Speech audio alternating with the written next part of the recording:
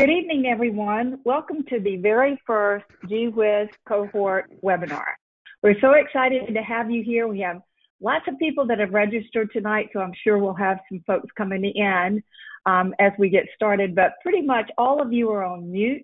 So um, if you have a question, you will see in the top right-hand corner a little hand, and um, you can either click there, but really the best way to send us a question during this webinar is in that question box right there on the right-hand side. If you'll type in your questions there, then we'll be able to answer them throughout uh, the webinar because unless you're on your phone, it's very difficult to unmute you.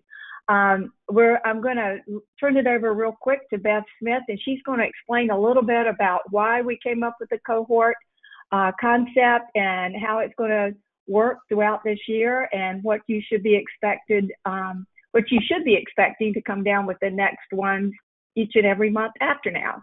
So, Beth. Good evening, everybody. Um, like Sherry said, my name is Beth Smith. I'm one of the partners with Gee Whiz Education, and we're very excited about the Gee Whiz cohort.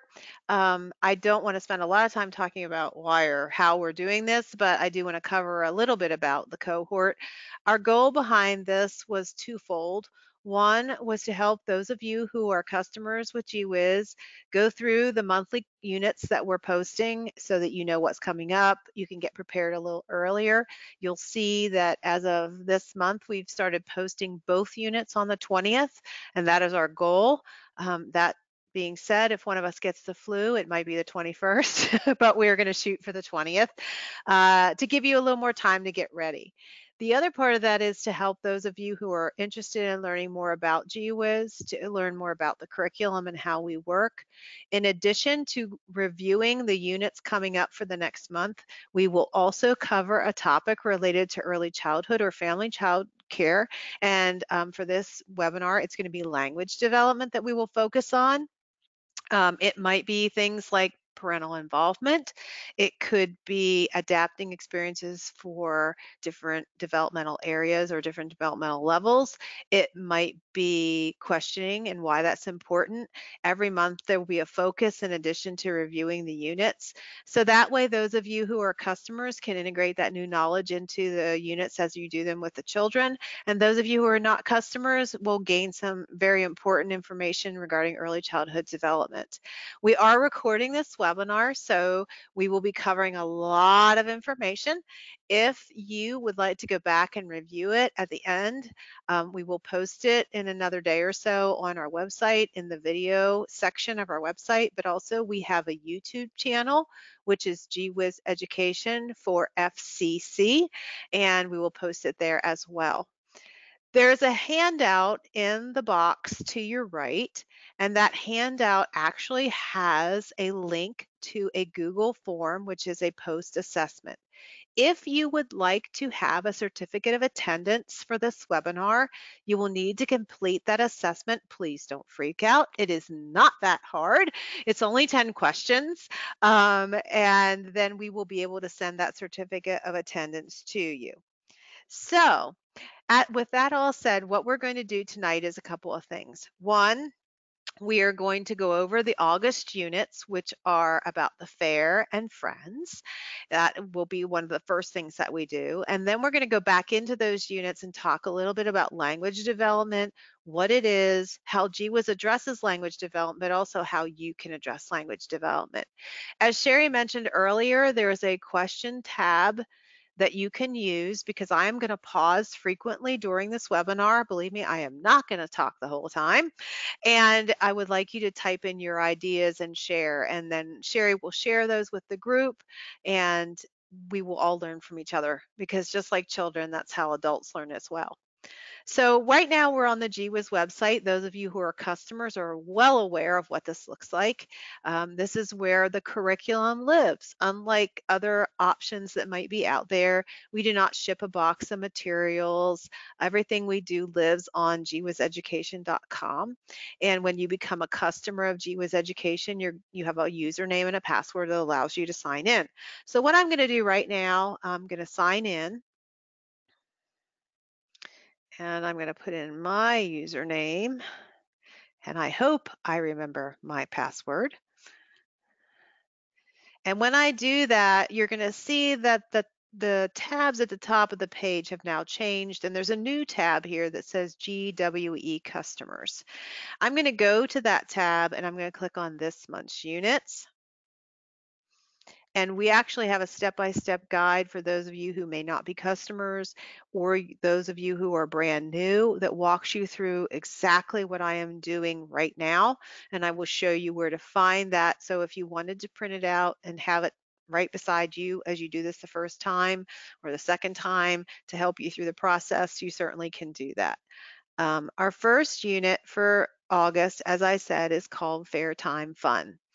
And before we talk about this unit, the reason this was chosen for August is that in a lot of parts of the country, getting into particularly August and September is a time when many uh, areas have agricultural fairs.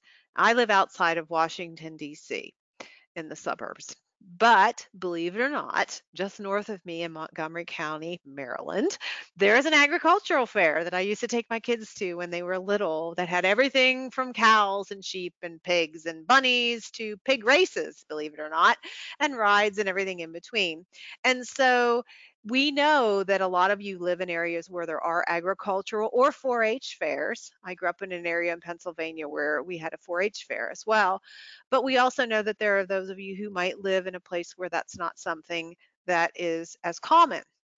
And so one of the things that we do in Gee Whiz education in our, our units is we provide links to particularly very short YouTube videos that can help you expose children to new ideas and new concepts. So let's say you live in an area where maybe your children have never experienced a fair or maybe have never been to a fair. You're going to find when we go into the teacher's guide, there are some links that you can use to expose them to this concept. But right now I want to ask a question. So um, you can all type in the question box. Let's say you live in an area where maybe your children have been to a fair or maybe they have not. What open-ended question could you ask the children as you prepare for this unit? Not once you get ready to start it, but like in the next two weeks as you're getting ready to prepare for it. What could you ask the children to gain some kind of um, basis for yourself of what they already know about fairs. So if you want to type your answer in the question box, and I'm going to pause for a second and Sherry can read your responses back. We'll give you plenty of time to kind of type that in. And don't worry about grammar, spelling. I'm the worst. So. Sherry won't tell me if you spell something. no one will know okay. Um, first question. Have they ever been to a fair? Has anyone been to a fair before? Um, what animals do you think you will see there? Um, we have several in our area, so most likely they have been to the fair. Excellent. I said, tell me about what you might see at a fair. That's a really good open-ended. Um, do you like going to the fair? Um, do you know what a fair is? What do you what do you think you might see at a fair? And what do you think when you hear someone talking about going to the fair? Oh, that, that's a very good open question. Those what are, are your favorite animals at the fair? Okay, great job. All excellent questions. I love the open endedness, and it will really help you as you engage children in that conversation to figure out okay, where do I start? You know where do i begin this unit? What do they already know? Do i need to get more books? Do i need to watch more videos? Do i need to get some um, the internet is a wonderful source for printing out images. Like you could just google in google images agricultural fair and i guarantee you you're going to find a lot of things you could print out to post on your walls um, to help expose them to what a fair looks like. So those are all excellent questions and that's super important beginning any unit to kind of get an idea of where the children are. What do they already know? It doesn't matter if you're doing dinosaurs or community helpers. It, it's really going to be different depending on the unit and your children, what they already know about a topic. And those types of questions are super important. You did a great job. So what I'm going to do now is I'm going to click on the English files mainly because I do not speak Spanish. So if I go into the Spanish files, I can't read anything. So I'm going to click on the English files And you'll notice that in this folder or on this page, you're going to find an, um, an overview of what the unit's going to be about, and then all the different components that are part of this unit. So one of the most important components, as those of you who are customers know, is our teaching guide. And our teaching guide contains lesson plans for this unit. There are 10 days of lesson plans. And in each day, there's an exploring together, which is like a circle time, but I'll explain why it's not a circle time.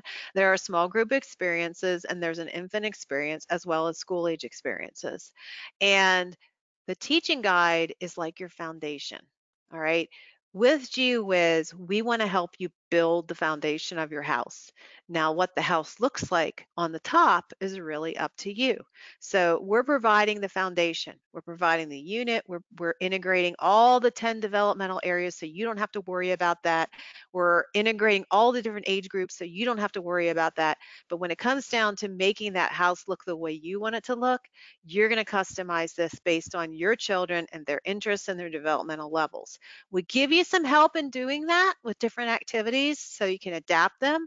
But when it comes right down to it, you know your children, you know what makes them tick, you know what makes them not tick and what they don't like.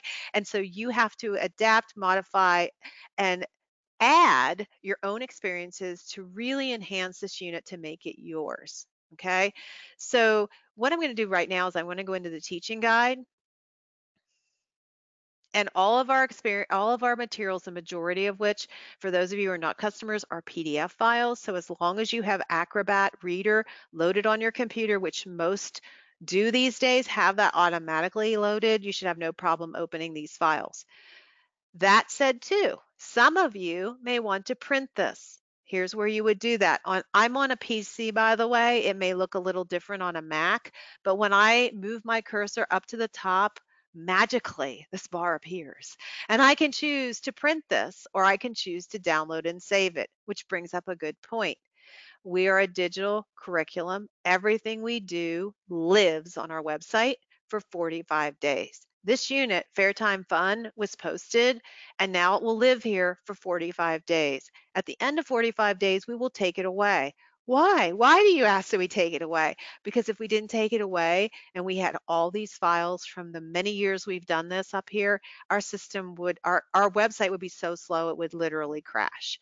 So what we encourage you to do, and now that we're posting both units on the 20th, is to simply go out on the 20th or around the 20th and download and save all these files to your computer in a folder.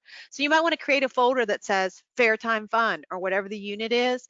Go up here to this download button and just download all all the files into Fairtime Fun. That way you have them, they're on your computer. We also encourage you to back them up to a flash drive, to a hard drive, to the cloud. I use Google Drive personally because it's free and I can save all my files there. And then I know when I lose my flash drive, I know where my files are. So you want to save them someplace as a backup. Um, but you can also print them.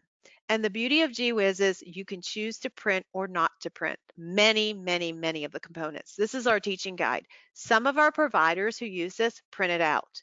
Some of them just view it on their computer or tablet. That is totally up to you. You can print it in color. You can print it in black and white. You can print it in two-sided, one-sided, not printed at all. That's up to you. Um, but again, that's mainly for those of you who are not customers. Those of you who are already know this. But since we have a mix of people on this webinar, I want to make sure I cover that. Then this page just starts with an introduction. Um, I'm going to show you in the materials list where we've now started putting a lot of those things that might need a little bit of extra time to locate. I encourage you as well to utilize parents and guardians as helpers in this process. And that might seem like, oh my gosh, I can't get parents and guardians to do anything. But you know what? Sometimes when you ask the child and you say, hey, you know, do you happen to have a stuffed cow at home or a plastic cow that you could bring in for this unit we're going to do on the fair? Man, especially if that child is an older child, that is a great responsibility. And like, wow, my teacher wants me to look for a plastic cow. And then they're like, Mom, Dad, I need a plastic cow. Can you help me find one?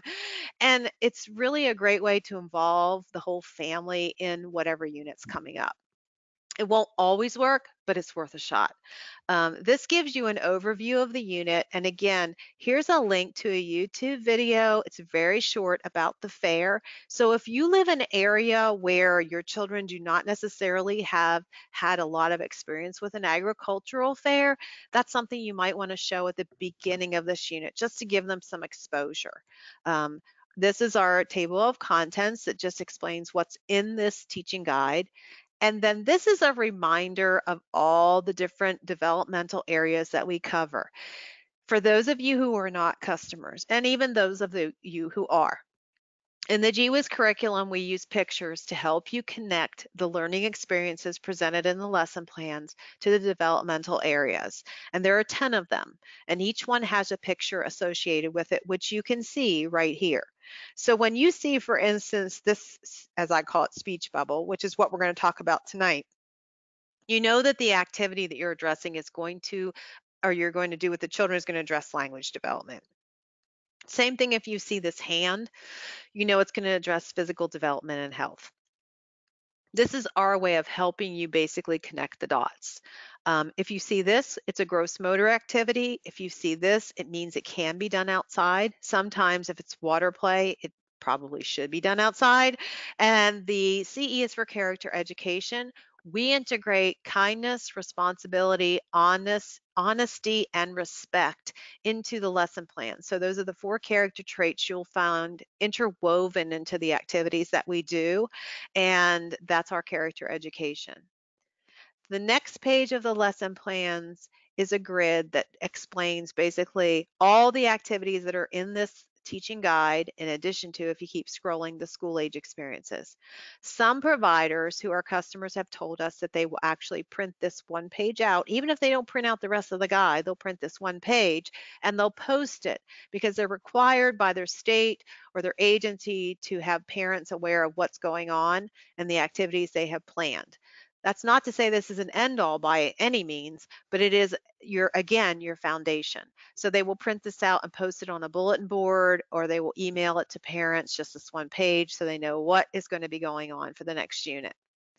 And then we actually go into the lesson plans.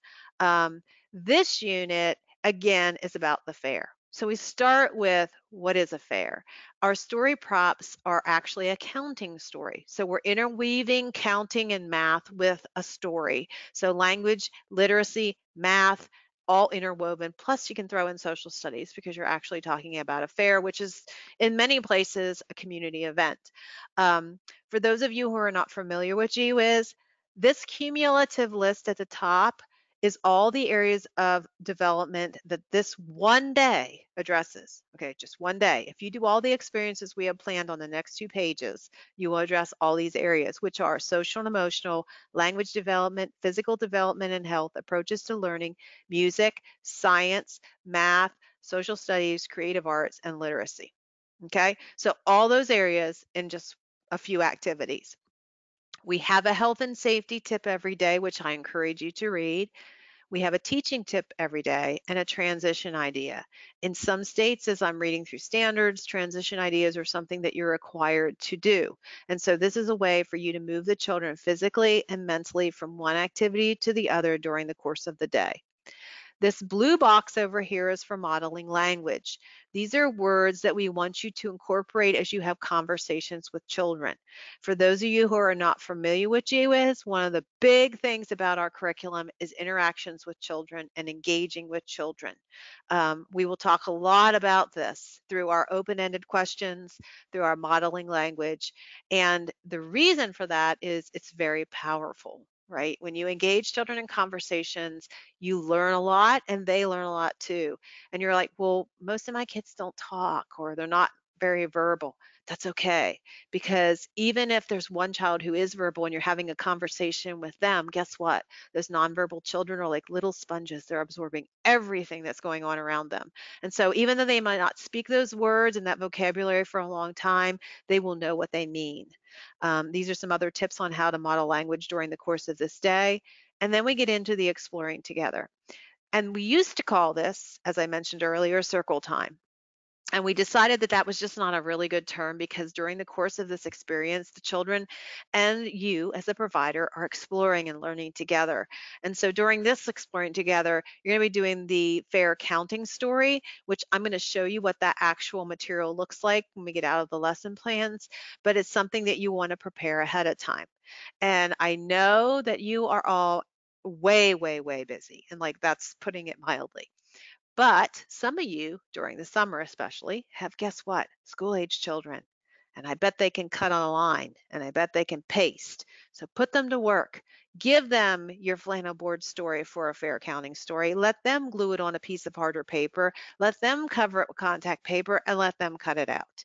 Um, put them to work. Even your, your more advanced four-year-olds, or if you have any fives who are getting ready to go to kindergarten, that one particularly is straight line cutting. There is no reason why they couldn't help you. And let me tell you, they will feel very proud if they can help you prepare that.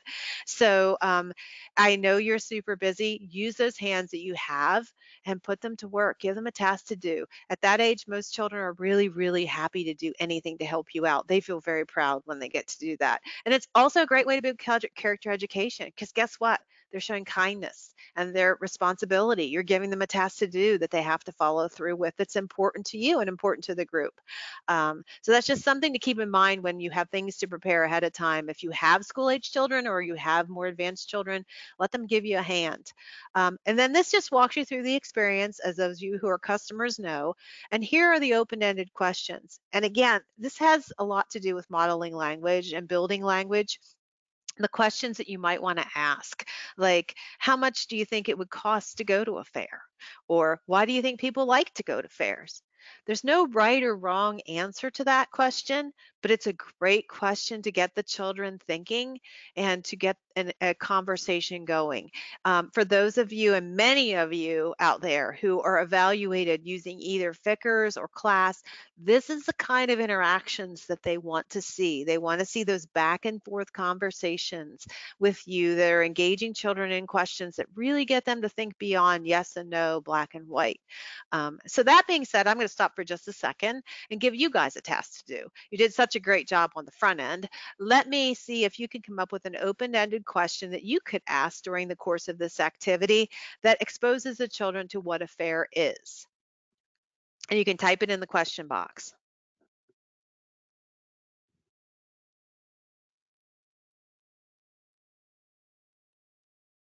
Sorry, I had to unmute myself. um, we don't have any yet. We do have one question, not while some of you are thinking about what Beth asked you to do. Uh, there's one question, do you have a crosswalk uh, for the curriculum and class? And I believe this person may be from Ohio. Um, and Beth, you may address just what we just posted this week. I will. I will definitely address that. Um, class is a privately held um, assessment of the environment as its FCCERS. So we can't actually crosswalk with class, but if you're in Ohio, we just posted alignments or sample alignments with one of our August units to um, three of the forms that providers are required to complete for one a star level one to um, choose a curriculum and then for the infants and toddlers in preschool as they move up the star chain. Um, I've looked at class. I know exactly what it looks like. I actually have the documentation and have the books in my possession.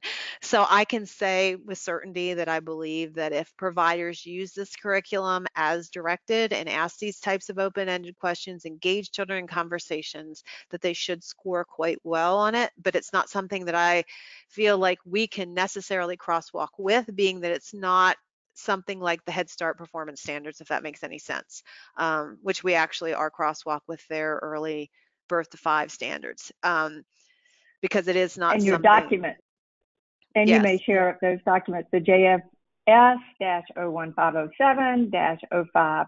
01590 and 01591. They're right. all They're on posted on our, our um, homepage. When you scroll down to the states, the United States map under Ohio, you'll see them all listed. And they're mainly there to give providers guidance as they have to complete those forms. So it's it's our way of saying, okay, we took one of our units, we're showing you how we align with one of the units, which would be representative of any unit actually that we do. Okay, And Sherry, you have any, any airlines. questions? Okay, yes. Um, why do you think farmers get together for a fair each year? Ooh, Um, oh, so someone wants you to repeat the question real quick, Beth. and- my question was, what would you ask the children during this activity where you're exposing them to the concept of what a fair is? Having read those questions to spur thinking, what other questions could you ask that are similar to that? Okay, what kind of animals do you think you will see at the fair? Um, I personally see. hope I see a cow. a fair is a place where those families who have animals are able to share with the public and how they can take care of the animals. That's a really good point because that's a big part of 4-H. If you go to a Ah. 4-H fair, is caring for the animals. Last week, some of you went to the carnival and rode rides. What do you think the fair is like? Mm. What kind of food might you find at the fair? Things that are not good for you but taste really good. uh, what do you think you'll find at the fair? Okay. Um, and then this, let, let's see, I need to, um, okay.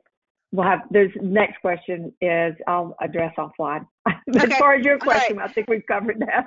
okay, cool. All right, those were excellent questions, and Oh, that's the I'm key. sorry. I do have one or two more that look pretty good. Can you tell me about a place where these animals, food, music, and fun rides? Ooh, Um, where do you think the farmers bring their animals to share? Why do you think the farmers bring their animals to share with us? mm, And what do you think the farmers being? Why do you think the farmers bring their animals to share with us? those are all great and what do you think actually happens on the farm to get ready for the fair? Those are all really good. They're very good questions. You guys are on the ball tonight. You must have had something really good for dinner tonight, so your brain is working very well. All right, so now after the first day, uh, first page, we then, and here's another YouTube video, again, a link to a very short video you can share the children about an agricultural fair um, if they don't have background knowledge in this area. And then these two experiences in pink are your small group experiences. Many of these you are going to find are child directed. All right, so what does that mean exactly, child directed? When we look at child directed at Gee Whiz, we mean that you're going to set up the experience and the children are going to kind of take it in any direction they would like to. Does that mean that you're not involved at all? Absolutely not. You are still going to be there observing. You're going to still be there engaging. You're going to ask open ended questions. Um, it doesn't mean that you're going to set it up and leave because a lot of what goes on when a child is leading a direction leading an experience is super important in terms of their thought processes and by asking open-ended questions you can gain some insight into okay where are they going with this which might also lead by the way to adapting and expanding upon their interests and their ideas as you move through this unit. So that's another way you can individualize. That's another way you can do an emergent curriculum because once you set up the experience, then you watch and you ask questions, and that can lead to something else. Um, books are a very important part of this, and we know that a lot of you have limited budgets to buy books, but the library is an excellent source. Um, there are also a lot of books these days at thrift stores and Goodwill and yard sales that are in excellent condition and cost next to nothing to purchase. And again, don't be afraid to ask your children and your parents if they might have some books that they would be willing to loan if they tie in with the unit that you're talking about. Um, so one of these experiences is learning about the fairs. We actually suggest in, in this case, since it is August, to take them outside. Um, it is very interesting to watch what happens when you take an indoor activity like maybe reading books and take it outside. Um, same thing with puzzles or um, building blocks like Legos. Take them outside and just watch what happens. Uh, It's very, very interesting when you change the environment, what, how children take that learning in a totally different direction. And then the second experience is tickets for the fair, because as we know, most fairs require you to buy a ticket to get in. And so during this experience, the children use index cards, crowns, and stickers to make their own tickets for the fair. Now, toddlers, twos, even your young threes, they're not quite ready to make tickets for the fair. But guess what? They're going to have fun scribbling on those index cards and they're going to have fun putting those stickers on there. And they're going to learn as they watch your older children make their own tickets. All right. And that also opens the door for their older children to talk about letters, letter sounds, as you, they dictate maybe some words they want you to put on their tickets, or maybe they want the price on there or the name of the fair. Um, it opens the door for a lot of different learning and a lot of different directions. And then the last experience for today is your infant experience in purple. So for those of you who are not familiar with Gee Whiz, we always have an infant experience every day. And this one happens to be a, a song to sing. Does that mean that toddlers or twos or your other children aren't going to want to join in? Absolutely not. They probably are. But it just means it's an experience that's designed for infants that you could do one-on-one with them and actually in our next unit for august back to school which has a very heavy friends um, focus we involve some of the older children in the experiences as well so I'm not going to spend, obviously, or we will be here all night. I'm going to spend a, a, lot of time going through every single day of the lesson plans. But what I do want to point out, which is important, is the focus. Up here every day, you're going to see what the focus of the day is. And so when you first download and print out or view this lesson plan book with your activities for the upcoming unit, take a look at the focuses and think about, okay, what do I have on hand that I can maybe gather to use with this? So small animals at the fair. We think about bunny rabbits, right? Um, we think about piglets. I love piglets. Um, we think about the little animals that people will raise and bring to the fair. So you might want to incorporate those into your dramatic play area or into your blocks area. All right. So just think about that. Um, in this one, we're talking about chickens, ducks, and bunnies okay?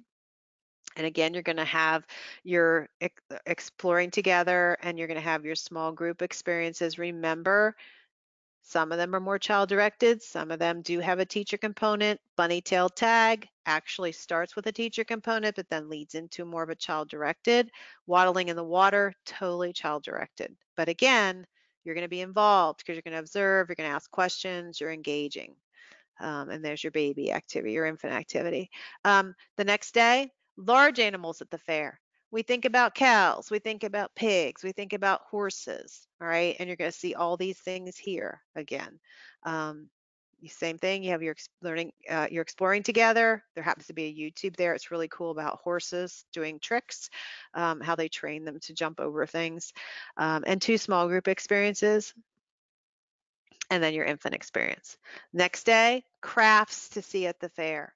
Um, if you've ever been to a 4-H or an agricultural fair, this is a big part of the fair. There are people who work on craft projects, woodworking, sewing, knitting, um, baking, canning, all kinds of different things that they do all year long to prepare for the fair. Um, so this is built into this day here. And then on the next day, we move into canned and baked goods at the fair. Okay, again, that's a big part of an agriculture or a 4 H fair. When I was a kid, I grew up in central PA. We had 4 H. One of the things I did was cooking. And um, some of those recipes, believe it or not, I have a peanut cookie recipe that I still make to this day. And it's been way too many years since I was in 4-H.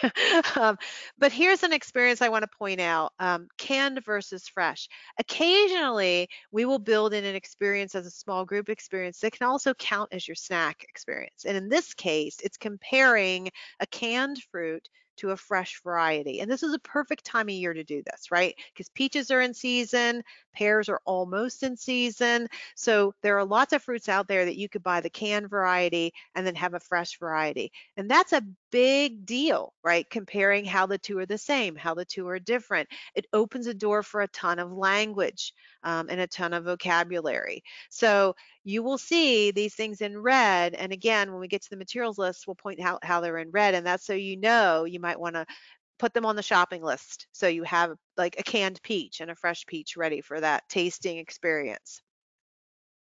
The next one is woodworking and art at the fair. During this day, we actually encourage you, if at all possible, to do woodworking with the children. You're like, oh my gosh, there's only me, hammers, nails, saws. No, no, no, no, no. You might be surprised if you ask, especially if it's still summertime, if there's somebody like a parent who could come in to help with this. Um, if you're not comfortable with nails and hammers, you can still go to Home Depot. They often have scraps of lumber. You just want to make sure not to get the pressure treated lumber because it is treated with a lot of chemicals. Just get the regular lumber and then get some sandpaper. Even your little people can use sandpaper. They might not use it the way it's intended and they might not use it accurately, but if you're doing it outside, it doesn't really matter. It's still just the expiration of doing it. It's the smell of the wood, it's the feel of the sandpaper. It's a very sensory experience. So it doesn't need to be with hammers and nails if you're not comfortable or you don't have the ability to do that because you don't have supervision. You could still just do it with pieces of lumber and sandpaper. So again, if you go to Home Depot or your lumber yard, oftentimes they'll have extra chunks of wood that they're more than happy to give to you, especially if you explain to them why you need it. Um, and it's a really cool sensory experience for children to do. Then we move on to the next experience. The next day is music at the fair. That's often a really big part of the fair is music. There'll be concerts, there'll be dances, there might even be competitions of dancing. It just depends on where you are, what's going on. But music is also something that children love to engage with. So this is great. It opens the door in so many different ways. And then we move on to day eight, which is rides at the fair. Again, children always remember the rides. Um, and as my mom used to say, don't ride dangerous rides, although it seems like at the fair there are often dangerous rides. Um, but anyway, this opens the door again for talking about a part of the fair that many children, if they've ever been to one, might have experienced, whether that be the Ferris wheel, whether it be a kiddie ride. Um, my children will never forget the honey bear pot ride, which was like these giant strawberries they sat in and it was like 100 degrees and they thought they were going to melt. So I'm sure if you ask them now at age 20 and 17, they would still remember sitting in the honey pot ride at the fair. Um, and a, a, part of the fair, when you talk about rides, is that's it opens the door for a lot of STEM is how they work. You know, there are a lot of gears, there might be belts, and this opens a door for this experience right here where you're going to adapt it for different levels depending on where they are talking about how things work how they move wheels and and pulleys and and inclines and declines and all those good things day nine is games at the fair and our games are all going to be fair, and there's not going to be any um, nefarious things going on. so we are going to all play games that where we all get to win a prize. Um, and part of it's going to be where they make up their own games and see how they take that. And then the last day is going to be our fair and they're going to have their own fair and there's going to be all kinds of experiences here in this part that you can pick and choose from and I would encourage you at the same time to also bring back any of the experiences the children really liked and they're going to make a yummy treat, which is um, English muffin pizzas. Again, we do incorporate cooking from time to time, and the reason we do that is because cooking is a wonderful sensory experience. It also, if you're cooking something like a muffin where you have to measure ingredients, introduces the children to measurement in a very meaningful way. Um, in this case, they're not really necessarily measuring, but it also opens the door talking about how things change like when you put the pizza together before you put it in the oven, how does it change? And so they can make predictions about what's going to happen, those who are more verbal, and they can talk about how it did change when they observe it at the end once it's baked. Um, so we do incorporate that, and that might be part of your prep for lunch that day. Maybe you want to serve English muffin pizzas for lunch, and the children can help prep them. And then we move into our school age experiences, which um, as those of you who are customers know, these are those experiences for children who are either with you during the summer or come after school during the school year. They are for children who are more advanced. There's a lot more writing, there's a lot more um, science and a lot more hands-on experience going on in terms of a higher level. So these are things that you would want to do with your school age children. Does it mean you couldn't do them with younger ones? Absolutely not. If you read the experience like, oh gosh, all my children would really like that. Absolutely. If you feel like they're ready for it and they can do it, then by all means. That is totally up to you. Um, so we go through our school age experiences and then here's the preparation for the counting story, okay? I told you originally there's a counting story that ties in the fair with math and it also is literacy. Here's the text that you'll read, and then I'll show you in a minute where the props are that I again express that maybe if you have a school ager, they can help you prepare. But here's the text for that story, and this one happens to be a counting story. It's also a rhyming story. So as the children learn the story, as you tell it over and over again, you can say things like, six happy cows eating lots of grass. Can you hear them mooing when you walk? And then you stop. And eventually they'll be able to fill that word in past okay? And that's a great way for them to be exposed to rhyming words in a very meaningful way and they begin to hear that those words sound similar. Um, these are extension ideas on how you can use those props in other ways uh, that's a great thing about Gee Whiz because we are digital. Let's say you prepare a set of the story props to use as story props when you tell them with the children. You could make a second set and put it in your language center where they could use the props to tell it in their own way. Or you could print out another set and they could use them for a sort and count game or a what, are, what am I game. Um, because we're digital, you can do that. It's not like we're just giving you one and you're done. If you need to print out another set or you want to print out another set, that's up to you. Our Make It sheets, for those of you who are not familiar, are our printables that are optional. They are not written into the lesson plans. They are designed for children you feel are ready for them. In this case, they're creating their own Ferris wheel, and they're either going to cut pictures of people to put in the Ferris wheel, or they're going to even draw pictures of people to put in the Ferris wheel. And then this one is an I Spy sheet. Truly, this could go home with every child if you wanted it to. It's a great like time killer if you're sitting in the doctor's office and you can use this to play I Spy, or you're sitting at a restaurant waiting for the food and they're getting antsy, you could play I Spy. Um, it's also a really good tool for building language and talking about vocabulary. These are experiences for your more advanced children who are, whoops, I'm sorry, I didn't mean to go that fast, um, who are getting ready to go to kindergarten or who are, are just more advanced that you might want to get into more letters, letter sounds, literacy, and also some more advanced math like algebraic concepts. Again, we encourage you to read these and think about the children that are in your care. Can any of them would any of them really enjoy this? Would you see them really enjoying this activity? Would they learn something? And you can gauge that better than we can, but just knowing that these concepts are on a higher level. This page comes in very handy when you're talking about your state standards and how you're addressing them. So you know how I said that each activity had the picture codes that tie to the, the developmental areas? This chart takes it a step further. So it has the experience, the fair is coming, and it has specific skills that each activity addresses or each experience addresses. If you want to know what LD1, LD2, LD3, and LD4 are, you can probably guess it's language development first and foremost. But if you want to know what 1, 2, 3, and 4 are, you need to go to our user's guide and look for the learning indicators. And that will tell you which learning indicators specifically that experience addresses. Those learning indicators are also the specific skills that we align with your state standards. So if you're required to show how you address state standards, all you need is this chart because it's going to show you specifically what skills you're addressing with each experience, and that should easily transfer over into your state standards.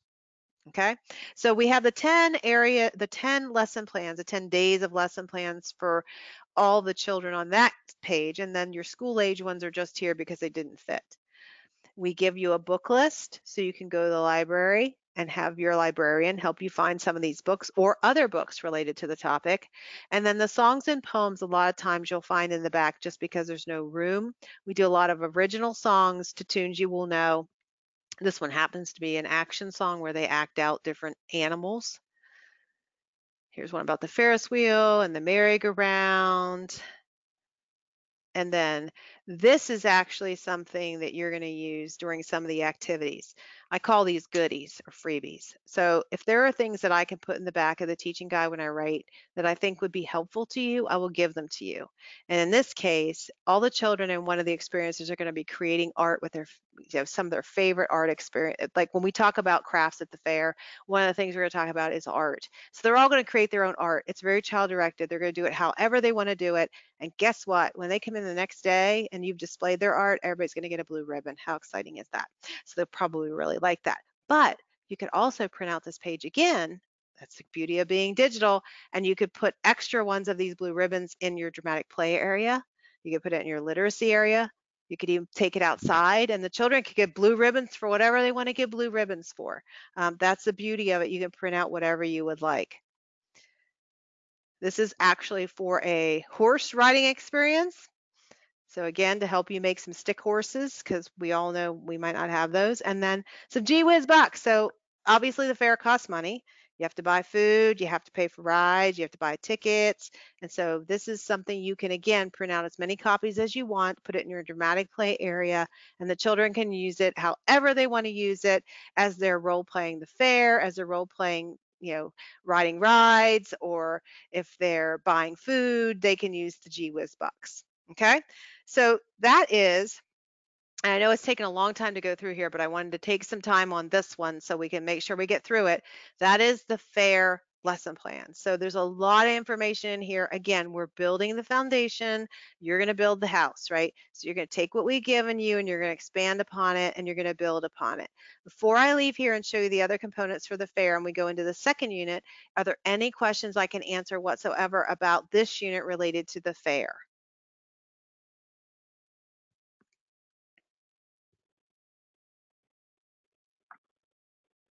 Um, I don't see anything typed in, but um, so if, go ahead and type them in while Beth goes on, because I know we're running out of time. We try to keep it to an hour. Uh, and um, Beth, I'll stop you if we get some questions that come in. Okay. Yeah, and it might take a little bit longer this first cohort to get through everything because I want to make sure that we spend enough time. Um, so hopefully it won't go too long for you. But like I said, we are recording it. So if you do have to leave, you can always come back and listen to the recording. All right, so we mentioned the story props. Again, a PDF file, you just click it and you're going to go up here. This is one thing you will need to print because it is a story prop. You're going to use it as a flannel board. And you can use it on a flannel board. You can use it on a blanket draped over your couch. If you don't have a flannel board, there's lots of ways we tell you in the teacher's guide how to prep it. But you'll want to print this one out, okay? And again, it's going to get mounted and cut apart. It's a counting story, as you can see. One Ferris wheel, two quilts, three wooden toys, etc., etc., etc. Okay? Then we move on to the materials list. We have a materials list with every unit that we do. This is thanks to Angie in New York City who requested this, please, please, please. And we said, sure, sure, sure, we can do this. So on this, you will see by the day, everything you're gonna need. Anything in red just means it needs a little extra prep or a little extra time to gather. So because we're posting these now on the 20th, I would encourage you to print out the materials list if nothing else or download them or whatever you want to do and study these ahead of time so you have lots of time to gather the things you need.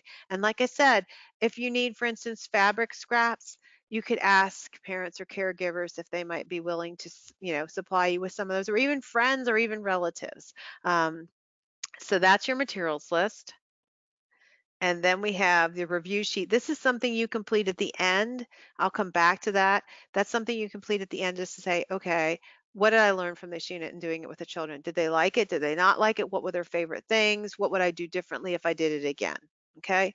The add and enhance again, thanks to Angie, was something we added to help you gather things that you can add to your learning centers. And we know that you're in your home, so you might not have your center set up all the time. But if you have tubs that you put things in, these are things you could gather to put in those tubs and then get out. They're just things that would enhance the unit. There's one of these for each unit. So, and different areas that you can add to. Our letters and our literacy and letters or literacy letters and literacy. This is new. We just added this very recently. This is for for children who are ready to go into more about letters, letter sounds, um, pre pre-literacy skills. Okay, how do you know if they're ready? Well, there's a link here that really helps you know if a child is ready to do this or not. But you're going to know your children well enough, I think, to know if they're ready to do it. These are not worksheets. This is not like let's trace letters on a piece of paper. These are here's our activity in the teaching guide, the page it's on, the letter you could integrate, and how you could do it in a meaningful way. And there's two pages of these types of experiences. So what I would encourage you to do, if you have children who are more advanced, who you feel are ready for this, I'd read through some of these experiences and I'd say, hmm, do you think this suits? Do you think this fits? Do you think they're ready for this? And try it. And, and if they look at you with that look on your face, like, I have no idea what you're talking about, and you might as well be talking in Chinese to me, then they're probably not ready. Um, I taught kindergarten. And up until January, many years, that's kind of the look I got was like, lady, I don't know what you're talking about. And then all of a sudden the light would go on. They're like, oh, I get it. so these are just ways that you can expose children to this if they're ready for it. That's why it's a separate piece and not written into the lesson plans because not everybody's re ready for it. And certainly your, um, your little people are not ready for it, like your toddlers. Uh, your All About My Week is a report you can print out. There's one for each week, and you fill it out and you send it home on Friday. It's a way for you to communicate with parents about how the week went, where their children were spending a lot of their time, what they're learning how to do. And it's a great way for you to also um, keep a copy of this in their portfolio as kind of a running record of their development. And this is available in Spanish as well as English. Our family letter is digital. So you don't even need to print it out and send it home with parents if you don't want to. You can simply download it and then you can attach it as an email attachment and just send it to them as an attachment. It talks about what the topic is, in this case, the fair, and it also gives them some simple things to do at bath time, mealtime, bedtime, and when riding in the car. There's usually a sign, a song or a chant or something to say down here. Um, that being said, this is available in Spanish but we will the the song will obviously lose its rhyming pattern. So a lot of times i'll rewrite it into a chant or something that does not necessarily rhyme for the spanish version so that they don't lose the rhyme scheme and then the individualization web is covered in our user's guide, but this is a tool you can use to individualize each unit that Gee Whiz does to match it to the child's interest and or if they have a disability or an area they're working on, you could use this tool for that as well. Again, a copy of this going in their portfolio would be an excellent way to show progress or where the child is, what their interests are, how you're adapting the unit to meet their needs and their um, their interests, almost like an emergent curriculum. And there's one of these with each unit. The digital family notes are actually a JPEG file, which if you use an iPhone or a smartphone, it's like taking a photo with your phone. So if you save this to your computer or if you open it up and save it on your phone, you can actually text this to a parent or guardian. And it's a real simple way that they can integrate the unit into their daily lives with their children in a meaningful way. There are two of these and there's the second one. I'm not going to go in there. And then the make it sheets, that was the Ferris wheel where they were going to add the people and the I Spy that I said would be appropriate for anybody. Again, they're optional. You can choose to print them. You can choose not to use them at all. You can choose to use them with one child who you think is ready. Like one of them you might think is ready for this, but maybe everybody's ready for that. And that's again the beauty of Gee Whiz. We're digital. So you can print up to 12 copies of any of these things to send home, to use with the children. That's your prerogative. Okay. So I'm going to go back out of here. And if you needed the Spanish, of the family letter, the digital family notes, all about me, my week report, you would just go here and download them from there and they would be available in Spanish. Okay. And then here we have our back to school unit, which is our second unit. It has a very strong focus on friendship. And before we get started with this, I've talked way too long. So I want to ask a question about friendship. And I want to ask a question about social interactions between children in your program, thinking about your children. And I want you to think particularly about a toddler. All right. And I want you to think about how most toddlers, not all toddlers, but most toddlers, if they're interacting socially with other children, do they A, engage in what I would call cooperative play, where, you know, they're putting on hats and they're pretending to be you're the police officer and I'm the firefighter, or I'm the I'm the tra- I'm the farmer and you're the the dinosaur catcher or whatever they decide to be. Do they engage in cooperative, I mean, in play side by side where they're standing there playing at the water table together, but they might interact a little bit when it comes time for sharing activities or sharing materials, but they're not really interacting too much? Or do they not interact with anybody at all? Do they just do their own thing? So in the question box, thinking about your toddlers, think about how it is. Are they pretty much by themselves? Do they play side by side but they don't really interact or do they cooperatively play? Okay, um, we have engage in parallel play, side by side, side by side, um, side by side with each other, but the older kids, they play together. Um,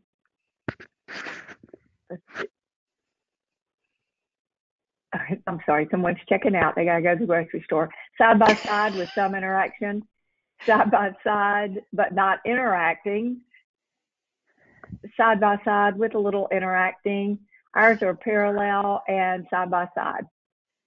You guys are on the ball tonight. Absolutely.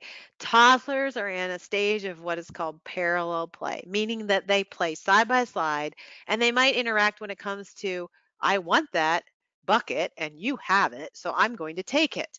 But they don't really engage in cooperative play, and that is developmentally appropriate. So, that is really important to keep in mind as you introduce this unit about friends, because to a toddler, a friend is somebody totally different than a friend is when you're four years old or five years old. Um, and so when we look at the experiences in the teaching guide for this unit, you're going to see where that's accept, I mean, that's normal. That's what you should expect. Um, it doesn't mean they can't learn about what it means to be a good friend by watching your older children. It just means that they're not at that stage yet, and that's okay. Um, but it's really important to have that in mind as you introduce any unit. Again, just like talking about the fair and the background knowledge of the children regarding what they know about a fair, it's the same thing here. It's just this, exactly the same. What do they know about friendship? What does it mean to even be a friend? What is a friend? You know, um, for a toddler, that's a new term. What does it mean? And so just keeping all that in mind is really important. Just like the other unit, you're going to have the buttons for English and Spanish. I'm going to go on to English. And we're not going to spend nearly as much time in here talking about how the lesson plans are structured, but we're going to talk about language because that was the focus of tonight. And a little bit of time that we have left, that's what we're going to focus on is language development. So I'm going to go into the teaching guide. Again, just like before, you can print it, you can download it, whichever you would like to do. Definitely download everybody, everybody download and save. Print is optional. And it again begins with an introduction table of contents, a reminder of what all those symbols mean. And then here's that chart if you want to print it out so parents know what's going on for the upcoming unit. And then we get into our lesson plans. So we start out obviously with what is a friend, right? Um, it's important that you understand what a friend is. And we have a puppet in this second unit. Our puppet is Spotty and he's our new friend. And so that opens the door in many different ways. This is a time of transition in a lot of programs because you might have, I was talking with a provider in Florida who's living, losing some of her children that are going off to kindergarten, which is always a sad time, especially if they've been with you since they were babies. Um, and there might be new children coming in. So this unit fits really well at this time of year because it is a time of transition. And in many states, uh, school will start back in August as opposed to September. So Fadi's our new friend and we're going to introduce Fadi. We're going to sing a song and then we're going to talk, we're going to make a mural. One of our first things we're going to do to, together is we're going to make a mural with handprints. And I want you to look at that experience and I want to talk about these picture symbols Remember, each one is an area of, of development. We have language development, approaches to learning, creative arts, social emotional, math, science, physical development and health, and literacy. Okay. During this experience, the children are going to be making a mural. And if you don't have mural paper, it's no worries. Just tape a couple pieces of white paper together and make a long sheet. So I want you to talk a little bit about what could happen during the um, during the experience where the children who are more verbal, okay, so we're talking about those children who are using words, how could they build language? But also at the same time, how could your nonverbal children, maybe your toddlers, what kind of nonverbal communication could they use as they engage with others during this experience? So just take a second, glance through what's going to happen during the experience, and then share your ideas in the question box. Again, what kind of things might you observe your more verbal children doing, or how could you help them build language skills during this experience as you engage with them? Because remember, this is child directed. You're not going to tell them how to make their handprints, right? But also, then I want you to also think about how you're going to, what your um, nonverbal children could do.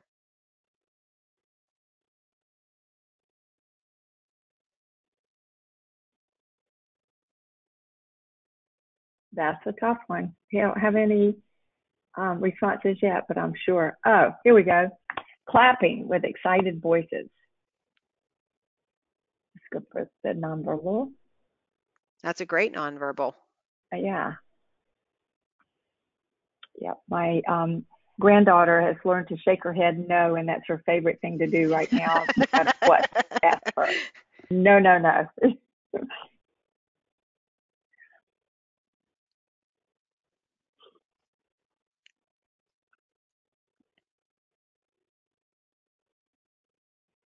okay, that way everybody's getting tired. I can ah, tell. I'm okay. getting tired. The, the, verbal children will probably be the first to want to make their handprints, while the nonverbal children will observe and then copy that behavior. Exactly right about that. They always right. want to do what the older children are doing.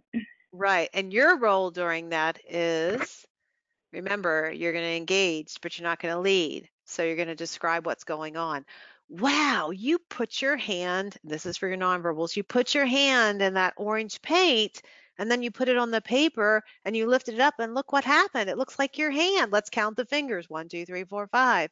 What color did you use? Oh, you used orange. Oh, look, so-and-so used orange. Again, you're adding words to their actions and that will help them build language. And yes, they learn from their older siblings or older siblings, a lot of case older siblings, but older children as they listen to them talk. Absolutely. Any other ideas?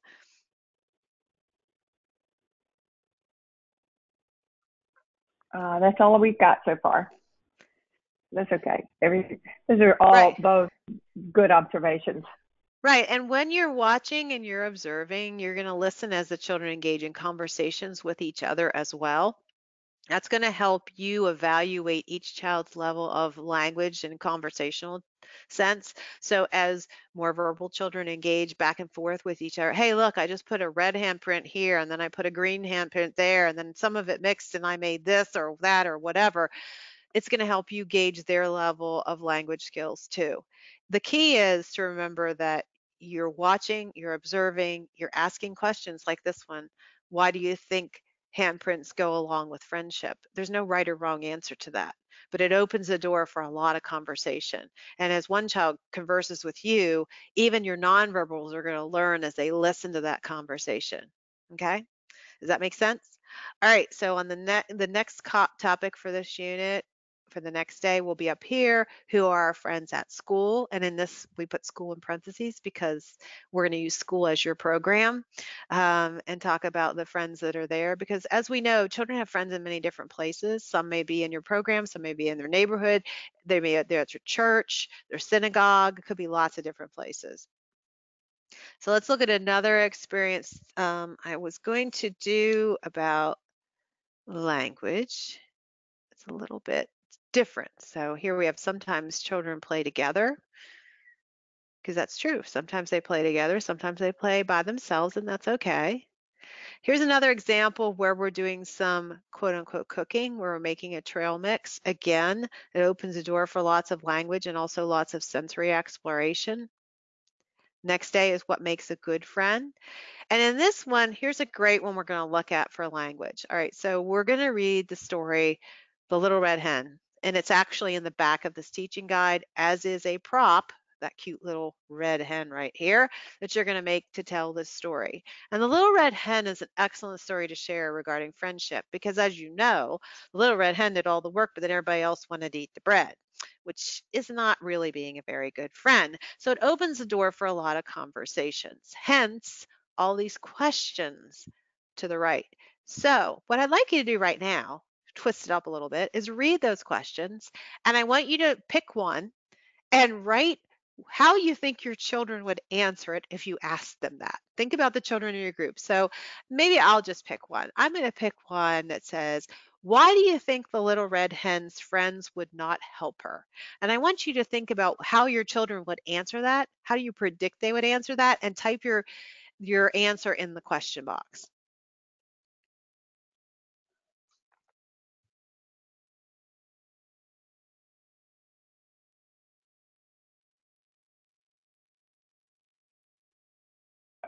I'm sorry, Beth. You might want to just repeat that question one okay. more time.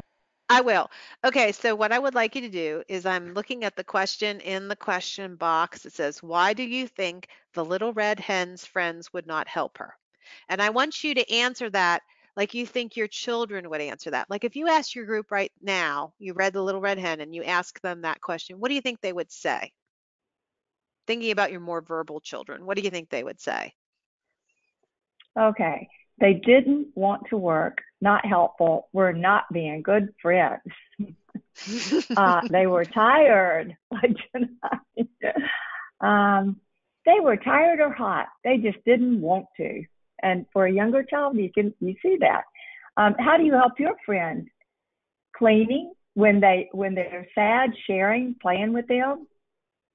Um, they were busy playing, so that's why they didn't want to help. Um, he didn't want to share bread. Um, they were just doing something else, and so that's why they didn't. Um, they were just too shy. Ooh, that's ah, good. That is very insightful. yes. Okay. Um, where do you think the story took place? At the hen house or in the kitchen? Ooh. Um, they were hungry and just couldn't help. That sounds like my kids. it, it, it, sounds like a response a three-year-old would say. I just, you know, I'm just hungry and I can't do it. but that's that's really great. I mean, because what I wanted you to do there is I just wanted to just think about the mindset of a three-year-old, right? I mean, we as adults have a totally different mindset than a three year old. They're in a very egotistical stage where they don't even, huh, even teenagers, they can't see sometimes how their behavior affects others, unfortunately. Um, and yes i speak from experience so what we what we think about there is when we're asking those questions is don't be shocked by any response that you get. And the point of asking an open and question like that is there's not a right or a wrong answer. It's what the child thinks. And the goal there, as, as we're talking about language development, is for them to learn to share their ideas out loud using words and Again, yes, you're going to have children who are nonverbal, but that's okay. They're going to learn as they listen to this conversation going back and forth and they hear others sharing their ideas. Um, nonverbal communication, like Sherry just said, shaking your head no, nodding your head yes, um, clapping your hands, all of those things are ways that toddlers and nonverbal twos and even some less limited language skill threes will share their ideas with you. You just have to be receptive and open to the fact that you're not going to get a word out of their mouths, but you're going to get some type of body language. And so you have to be keyed into that. And also, as I mentioned earlier, when we looked at the one experience where they were um, we're, we're, doing something where you're going to be describing their actions, you're going to describe what happens, you're going to describe the materials they use, All of those things are ways that you can help nonverbal children build future vocabulary and receptive language skills. In other words, they're receiving it in. They're not expressing it out yet, but that's okay because they will eventually express it out. Does that make sense? So this unit about friendship is a great way to start your school year. Um, again, lots of open-ended experiences like this fun with flour. They're experiencing and exploring different types of flour. And, and this is in red. You'll notice it'd be in red on the materials list so that now when you're at the grocery store, you might want to get some whole wheat flour if you don't have any. You might want to get some bread flour. You might even get some cornmeal and the children can explore how they're all different. Uh, bakers are we. We're going to play with Play-Doh. No right or wrong way to do this. We're going to pretend to be bakers just like the little red hen. Obviously, your more advanced children are get more into the dramatic play side of things, but does that mean it's not appropriate or not a meaningful experience for your younger ones? Absolutely not. They're going to build fine motor skills, fine motor coordination. They're going to use their senses. They're going to do so many different things. So the beauty of Gee Whiz and the reason that we built this curriculum the way we did was so you could do one experience knowing that in a lot of cases it's just you and the children. You could do one experience like you can set out the play-doh and the the bread pans and the pie plates and add in your blank index cards or recipe cards and a marker for your more advanced children, but your younger ones will just simply have fun playing with the Play-Doh and they'll learn by watching and listening to your other ones and and as we're talking about tonight, language development, engaging with you in conversations back and forth, back and forth, back and forth. And that will help them, your younger ones, again, build the receptive skills and your older ones, your more advanced ones, build their receptive, I mean, their expressive skills. Okay. So language is built into all of these experiences. Again, you're just looking for the speech bubble.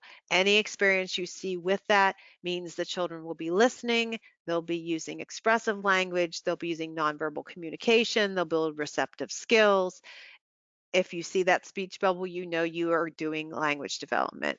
But again, I want to impress upon you that a part of your role in all of that is to be engaged with the children and not be afraid to ask as they're playing, for instance, up here, saying things like, tell me about what you're making don't assume that you know, especially with art. Like, never ask a child, what is that? Because they already assume you know what that is. So instead, tell, tell say something, oh, tell me about your painting, or tell me about what you're making with the Play-Doh, or tell me about your block structure or your building. Um, that opens a door for a lot of language and they don't feel disappointed that you don't automatically know what it is because let's face it, sometimes it's really hard to tell what it is.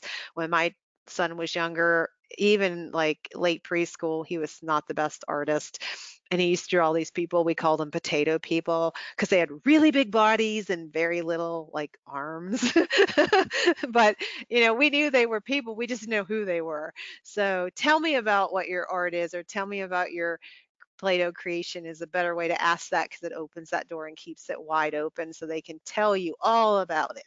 Um, so it's now 8:44. I feel like I've talked way too long.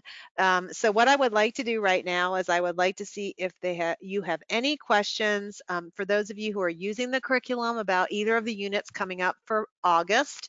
For those of you who are not using the curriculum, any questions you have about how it works. Um, I am going to go back out to the home page in just a second because I want to show you a few things there that we touched on. Um, but also I want to see if there's any, um, I know we always have a question regarding assessment and I do want to cover that. In the user's guide, and I'm going to just go right back out here to the home page, under our products, you'll see right here the Gee Whiz Curriculum User's Guide. This is like our training manual. So when you first start with Gee Whiz, we encourage you to download. This is a 50 some page document, but it covers all the areas of development. It covers the research behind the curriculum. It covers the philosophy. It covers, there's a whole section on anecdotal notes, observations, reflections, individualization. Um, it covers all the different components. So we encourage you to read through here the learning indicators that I talked about, the specific specific skills like what LD1, LD2, LD3, LD4, they are in this guide. So again, to get there, I just went to our products and the user's guide. So that's a really important tool that if you're new to the curriculum, you would want to at least download and have on your computer and take some time to read through. Um, but that's one thing I wanted to point out. And then also our alignment charts and those people in Ohio who have all those crazy forms that you need to do that I mentioned that we are providing some help with can be found here under this tab. So you would just go to, um, and we are, oh, Florida's popped up. We're reapproved in Florida for anybody on the call from Florida for 2020, um, just in case you wanted to know. And then Ohio, all those forms are JF1 07, 90, and 91. Those are all the ones we just did and posted that would help you fill out those forms. We can't do it for you, um, but we've provided some guidance on you know what you might want to put in the different boxes. All right, with that said, I am going to stop talking and see if anybody has any questions um, regarding formal assessment. Before I do that, you can use any formal assessment tool you want. Gold, ages and stages, ounce, whatever you use, whatever you choose to use, we're covering all 10 developmental areas for all ages. So I know we have providers, for instance, in Ohio that are five-star rated, accredited programs. I know we have an accredited provider in Florida, and they're using whatever assessment tool they feel works best for them. Uh, if their state requires, a, you know, choosing off of a list, they've chosen the one they think would work best and their children are doing quite well. I know that always comes up, so I wanna make sure I address it. All right, now I'm going to stop talking and see if anybody has any questions that I can answer before we call it a night, because I know I'm tired and I'm sure you all are too. um, I don't have any questions typed in, but I did send out in the in your question box or chat box that if you have questions after the webinar is over, please send them to customer service at geewhizeducation.com and the email is right there, the right hand side of your screen. And also to be sure to complete the quiz to get your certificate of attendance if that's something that you would like. Um, but that that's the way instead of sending it to customer service, you do need to complete that quiz. Um, and again, we'll be glad to answer questions after this is over with. And if you want to come back and review, all you got to do is use that registration link, and that's where the recording will be before until we get it posted on the website. Um, and Beth, we don't have any questions. We did have a provider online tonight that we were hoping to get her online to share her experience, but we've just kind of flat run out of time. Um, so hopefully we will have supposed to be back again next month, and we'll go through the next program, uh, or yeah, the uh, September program. Sherry, uh, is but Adrian if there are no more, did, did Adrian yes, get on? yes, yes. Adrian, yes, do you want us to yes. unmute you and you can be our, our wrap up and tell us, you know, she's been a customer for a long time and, and has shared a right. lot of really helpful tips. Adrian, we can try to unmute Let me see you. if I can click. Uh, unmute. Too many people, it won't let me. Uh, Adrian, I'm sorry, unless I've got you on the phone, I can't unmute you, and it looks like you're using your computer. We're going to have to practice this for next time so we can unmute you. Uh, it just will not let me. It says too many people. So I'm sorry about that because I know Adrian's always got some just great ideas and just so much energy and so much knowledge. I just love talking to her. So anyway, thank you guys so much for coming tonight. Um, and again, this will be recorded. And with that, we're going to say good night and see you next month, if not Good night, everyone. Let us know if you have any questions. Thanks. Thanks. Bye. Yeah, thanks. Bye.